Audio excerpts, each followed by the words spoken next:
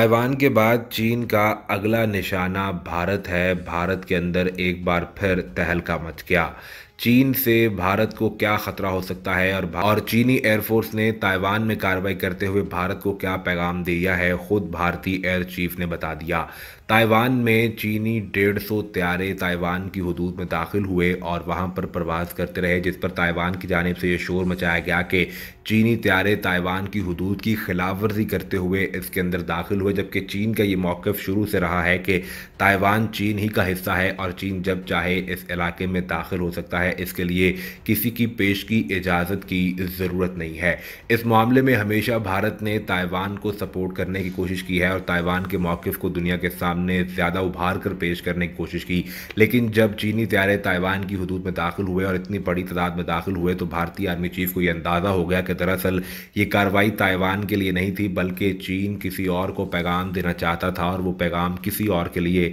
नहीं, बल्कि खुद भारत के लिए था। भारतीय एयर चीफ ने वाज तौर पर बता दिया है कि ताइवान में होने वाली कार्रवाई का निशाना दरअसल भारत था और चीन की जानब से तीन ऐसी एयरबेसिस को तैयार किया गया है, जिनका रुख लद्दाख की जानब है और चीन किसी भी वक्त वहाँ से कार्रवाई कर सकता है। उन्होंने बताया कि इस हवाले से चीन ऊंचाई पर है और ऊंचाई पर अगर आपका दुश्मन बैठा हो तो उसके लिए कार्रवाइयाँ करना आसान हो सकता है। नए भारतीय air chief marshal Vivek Ram Chaudhary की जानब से अपनी पहली प्रेस कॉन्फ्रेंस में ही चीन की तरफ़ से इस खतरे का इजहार किया गया है, जिस पर माहरीन का यह कहना है कि वो किस कदर शिकस्त खुर्दा जहनीत के साथ नए आर्मी चीफ के तौर पर सामने आए हैं, ये उनके बयान से ही वाज हो रहा है। उन्होंने कहा कि चीन की जानब से तीन ऐसी एयर बेसिस को तैयार किया गया है, जिनका रुख लद्दाख की जानब है और इस जानब से चीन मुसलसल हम पर किसी भी वक्त हमला कर सकता है। नए भारतीय army chief V R Chaudhary ने कहा कि चीन की जानब से ऐसा इंफ्रास्ट्रक्चर और इतनी ज़्यादा डिप्लॉयमेंट की जा रही है कि जिससे लगता है कि ये हालात